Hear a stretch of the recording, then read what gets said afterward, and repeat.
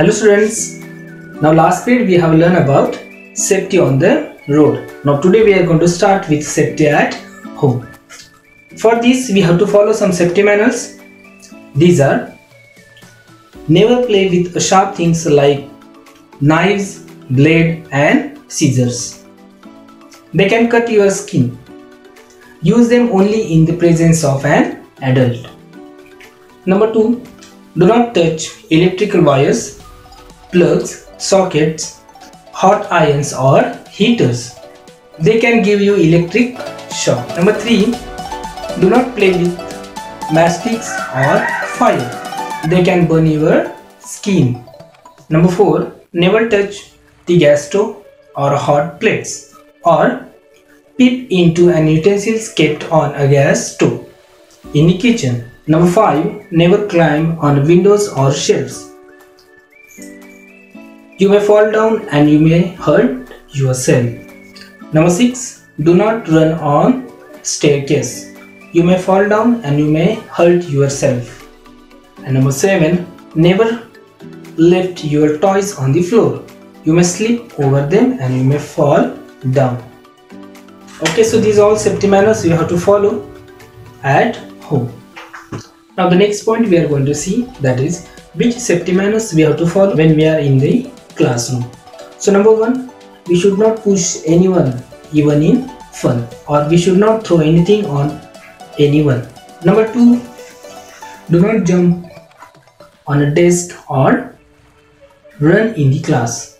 You may fall down and hurt yourself. Number three, always sharpen your pencil with a sharpener.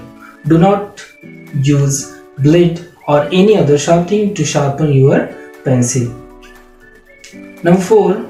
Never run on staircase. Always form a queue while walking on a stairs. The last, do not hang or swing on windows. If the glass breaks, it may hurt you. Okay, so these all safety manners you have to follow when you are in the classroom. So what we have learned today? We have learned we have to follow some safety rules when we are at home as well as we have to follow some safety rules when we are in the classroom. Okay, now I'll give you words. That words you have to copy in your notebook. Okay. So number one, sharp things. Number two, plugs. Number three, sockets. Number four, heaters. Number five, matchsticks. Number six, utensils. Number seven, shelves. Number eight, trip. Okay, so these are all words you have to copy in your notebook as well as we have to recite.